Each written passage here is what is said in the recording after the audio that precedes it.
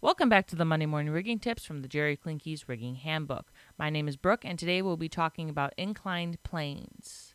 The table below illustrates how the coefficient of friction is affected by surface conditions. The values shown are typical. Independent references should be used. The ideal method of determining the coefficient of friction is by trials.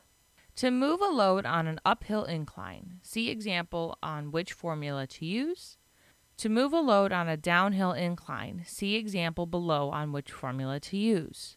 To move a load on a level plane, use the formula F equals CF times W. An example of using the formula. Note, inch measurements should be converted into tenths of a foot to use this formula. For more tips like this, you can visit our YouTube page or on our website at rentlgh.com.